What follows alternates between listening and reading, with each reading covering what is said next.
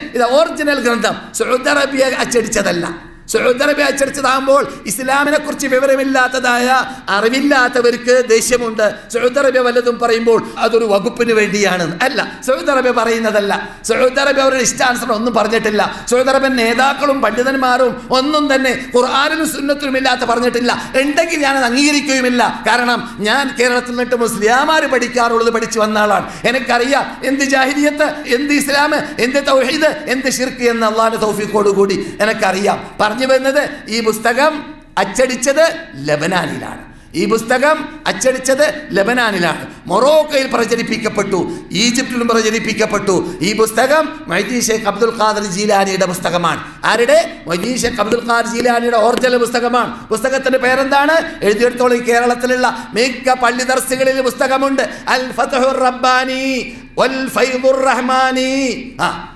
പുസ്തകത്തിന്റെ പേരാണ്. തൗലീഫ് ആരാണ്? അഥവാ ഗ്രന്ഥരചയിതാവാരാണ് സയ്യിദി അബ്ദുൽ ഖാദിർ ജീലാനി. മനസ്സിലായില്ലേ? അയാളെ ഗ്രന്ഥമാണ്. ഈ ഗ്രന്ഥം ഈ ഗ്രന്ഥത്തിന്റെ ഉടമയായ മൊയ്തീൻ ഷേഖ് അബ്ദുൽ ഖാദർ ജിലാനിയെ കുറിച്ചാണ് നമ്മുടെ നാട്ടിൽ പാട്ടുകൾ ഉണ്ടാക്കപ്പെട്ടത്. നാനൂറോളം മുന്നൂറിൽ പരം വർഷങ്ങൾക്ക് മുമ്പ് കേരളത്തിൽ വലിയ സാഹിത്യ ശൈലിയിലേക്ക് ഇസ്ലാമിക സാഹിത്യ ശൈലിയിലേക്ക് ഉത്തുംഗ ശൃംഗത്തിലേക്ക് എത്തിയതാണ് എന്ന അവാർഡും പേരും ലഭിച്ചതായ ഒരു പാട്ടായിരുന്നു മൊഹിദ്ദീൻ മാല. എന്തേ? അവാർഡൊക്കെ ലഭിക്കൂലേ? അള്ളാഹു അല്ലാത്തവരെ ആയിരക്കണക്കിന് പ്രാവശ്യം പ്രാർത്ഥിക്കാൻ വേണ്ടി പറയുന്ന പുസ്തകമാവുമ്പോൾ അങ്ങനെ സംഭവിക്കൂ. ആ ഞാൻ പറഞ്ഞല്ലോ ഇസ്ലാമിനെ തെറി പറഞ്ഞതായ സി എൻ മുസ്ലിയാരുടെ സി എൻ മൗലവിയുടെ പുസ്തകത്തിന് അവാർഡുണ്ടായി എന്നതുപോലെയാണ് ഇതും സംഭവിച്ചത്. അപ്പോൾ നാം എന്താ കേട്ടത്?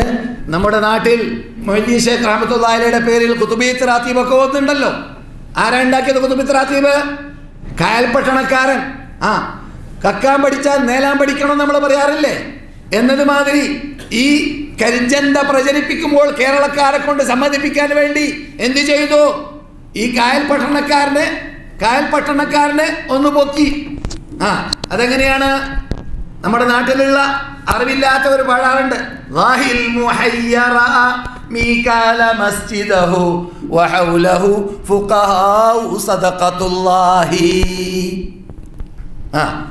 എന്താ അതിന്റെ അർത്ഥം? ഈ സദക്കത്തുള്ള എന്ന് പറയാവുന്ന ആൾ തന്നെ വളരെ വലിയ കറാമത്തുള്ള ആളാണ്?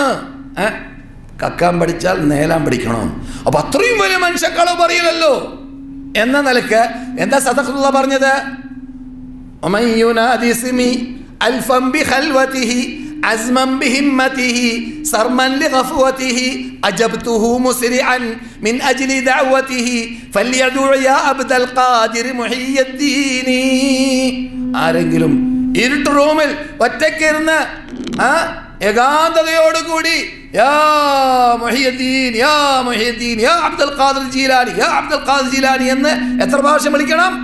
ആയിരം പ്രാവശ്യം വിളിക്കണം. എത്ര? ആയിരം പ്രാവശ്യം വിളിക്കണം. മനസ്സിലായില്ലേ?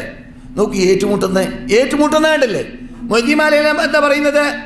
വല്ല നലത്തിന്നും എന്നെ വിളിപ്പോർക്ക് വാകൂട ഉത്തീരം ചെയ്യും ഞാൻ എന്നോവർ വാകൂട എന്ന് പറഞ്ഞാൽ തൊള്ള പൂട്ടുന്നതിന് മുമ്പ് മറുപടി കിട്ടും.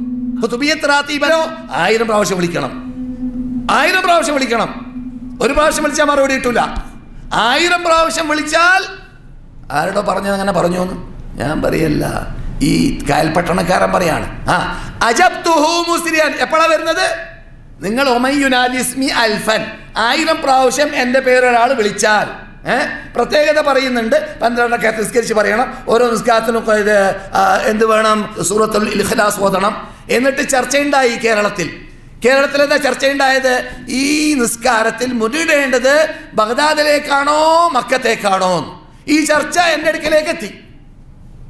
ചർച്ച നടന്ന കാലത്ത്. നിങ്ങൾ ആലോചിച്ചു നോക്ക് നമ്മുടെ കൗമിന്റെ ചീ നീച നീച ചിന്ത. ഈ പന്ത്രണ്ട് റക്കാത്ത് നിസ്കരിക്കാൻ വേണ്ടി കാൽപട്ടണക്കാരൻ പറഞ്ഞത് മൂപ്പരസ്കാരാണ് അള്ളാഹ് നിസ്കാരമല്ല. മൂപ്പരസ്കാരാണ്. മൂപ്പരുണ്ടാക്കിയ പന്ത്രണ്ട് സുന്നത്താണ്. മനസ്സിലായില്ലേ? അത് നിസ്കരിക്കുമ്പോൾ വിളിക്കുന്നത് അള്ളാനല്ലല്ലോ അള്ളാനെ വിളിക്കുമ്പോഴല്ലേ ക്യാബത്തിലേക്ക് മുന്നിടേണ്ടത്? മൊജി ഷേഖിനെയാണ് വിളിക്കേണ്ടത്. അപ്പോൾ ക്യാബത്തിലേക്കല്ലല്ലോ മുന്നേ മുന്നിടേണ്ടത്. എന്നത് കാരണത്താൽ തെളിവെന്താണ്? ഞാൻ കഴിഞ്ഞ ക്ലാസ്സിൽ നിങ്ങളെ കേൾപ്പിച്ച തഫ്രീഹുൽ ഖാത്തർ എന്ന പുസ്തകത്തിൽ പറയുന്നുണ്ട് മൊഹജി ഷേഖിനെ ആയിരം പ്രാവശ്യം വിളിക്കുമ്പോൾ ബഗ്ദാദ് ഭാഗത്തിലേക്ക് ആറടി മുന്നോട്ട് ചലിക്കണം. എത്ര? ആറടി. ഇതൊക്കെ നമ്മുടെ നാട്ടിലുള്ള പള്ളി ദർസിൽ കൂടിയ കരിഞ്ചന്തകളാണ്. ഇതൊക്കെ പറയണ്ടേ? ഇതൊക്കെ അറിയണ്ടേ? എന്നിട്ട് ജനങ്ങൾക്ക് പറഞ്ഞു കൊടുക്കണ്ടേ? നിങ്ങളുടെ നാട്ടിൽ ചിലപ്പോൾ ഇല്ലായിരിക്കാം. പക്ഷെ ഞങ്ങളുടെ നാട്ടിൽ ഇപ്പോഴുമുണ്ട്. പറയേണ്ടതുമുണ്ട്. അപ്പോൾ ഞാൻ പറഞ്ഞു വന്നത് തെളിവ് ചെയ്യുന്ന ജനങ്ങൾക്ക് പറഞ്ഞു കൊടുക്കാൻ നാം നമ്മുടെ കൂടെ തെളിവുണ്ടാക്കുക. മൊഹിദ്ദീൻ ഷേഖ് റഹമത്തുല്ലാഹി അലഹി ഒരു പ്രാവശ്യമെങ്കിലും ഇങ്ങനെയുള്ള പദം പറയാൻ വേണ്ടി കൽപ്പിച്ചിട്ടില്ല എന്നതിന്റെ തെളിവായിട്ട് അദ്ദേഹത്തിന്റെ മൗലൂദിൽ തന്നെ കാണാം. ലികുല്ലി വലിൻ ലഹു വഇന്നി അലാ എല്ലാ ഒലിയുമാർക്കും നേതൃത്വമുണ്ട്. എന്റെ നേതൃത്വം മദീനയിൽ മറിഞ്ഞു കിടക്കുന്ന മുഹമ്മദ് നബിയാണ് സല്ലല്ലാഹു അലൈ വസല്ലം. മുഹമ്മദ് നബി പറയാത്തത് ദീനിന്റെ പേരിൽ ഞാൻ പറയുകയില്ല. മുഹമ്മദ് നബിയുടെ ജീവിതം ആ സകലം നമ്മളോട് കൽപ്പിച്ചതും പറഞ്ഞതും എന്താണ്?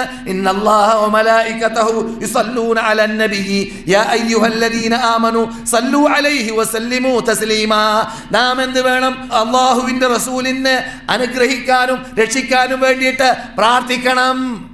അള്ളയും മലക്കുകളും സലാത്ത് ചെല്ലുന്നു എന്നത് റസൂള്ളാക്കുള്ള പ്രത്യേകത. അത് മാത്രമല്ല പിന്നെയോ എല്ലാ മൂമിനീങ്ങൾക്കും അല്ല അനുഗ്രഹിക്കുന്നു. മലക്കുകൾ ഇസ്തിഗ്ഫാറിന് വേണ്ടി പ്രാർത്ഥിക്കുന്നു എന്ന അർത്ഥത്തിലേക്കാണ്. ആ സുബാൻ ഈ പറഞ്ഞതായ പറവണ്ണ മൊയ്ഞ്ചിക്കുട്ടി മുസ്ലിയാർ സമസ്തയുടെ ഈ സമസ്തയുടെ തലവന്മാരിൽ ഒരാളാണ്.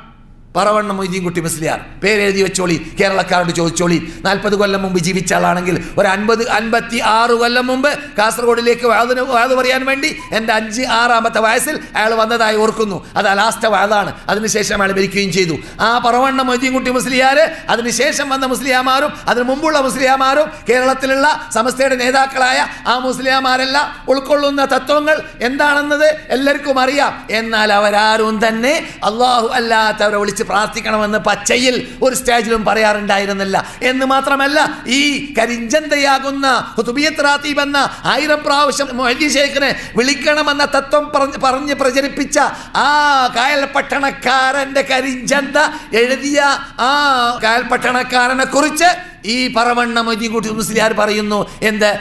ജാഹിലുൻ മുറക്കം എന്താണ് പറഞ്ഞത്? ജാഹിലുൻ മുറക്കം സാധാരണ ജാഹിലല്ല. മുറക്കമായ ജാഹിലാണെന്നാണ്. മനസ്സിലായില്ലേ? ആ ഞാൻ പറയല്ല. എന്തിനാണ് അങ്ങനെ പറയാൻ കാരണം? അദ്ദേഹം അൽബയാൻ മാസികയുടെ ഉടമയാണ്. അൽബയാൻ മാസിക ഓർക്കുന്നുണ്ടോ? ഓർക്കുന്നുണ്ടോ ബാക്കവി? അൽബയാൻ മാസിക സമസ്തയുടെ ആദ്യ മാസികയാണ്. അത് ഈ പുസ്തകം പോലത്തെ അറബി മലയാളത്തിലുള്ള പുസ്തകമാണ്. അറബി മലയാളത്തിലുള്ള മാസികയാണ്. ഈ ഈ പറവണ്ണ മൊയ്തീൻകുട്ടി മുസ്ലിയാണ് അതിന്റെ പ്രധാന മെമ്പർ അത് പ്രചരിപ്പിക്കുന്നതിന്റെ പിന്നിൽ. അദ്ദേഹം ജാഹിലുൻ മുറക്കബ് എന്നാണ് ആ പത്രത്തിൽ ആ കാലഘട്ടത്തിൽ എഴുതിയത്. ഈ പറഞ്ഞ കായൽ പട്ടണക്കാരനായ ഈ മൊയ്തീൻ ഷേഖിനെ കുറിച്ചുള്ള കരിഞ്ചന്ത എഴുതിയ മനുഷ്യനെക്കുറിച്ച്. മനസ്സിലായില്ലേ? ഇതിലൊക്കെ അള്ളഹാനേക്കാളും പൊക്കുന്നുണ്ട് ആ പുസ്തകത്തിൽ. ഏതുപോലെ? മൊയ്തീൻ മാലയിൽ എന്ന പോലെ. ഏ? മൊയ്തീൻ മാലയിൽ എന്നതുപോലെ ഈ പുസ്തകത്തിലും അള്ളഹാനേക്കാളും പൊക്കുന്നുണ്ട് ആരെ? മൊയ്തീഷ് മൊയ്തീഷേഖ് ആണെങ്കിൽ മരിക്കുമ്പോൾ വരേക്കും പറയുന്നത് അള്ളഹാനോടല്ലാതെ വിളിച്ച് പ്രാർത്ഥിക്കാൻ പാടില്ല എന്നാണ്. അപ്പോൾ അതൊക്കെ ഒരു പച്ച പരമാർത്ഥവും യാഥാർത്ഥ്യവുമാണ്.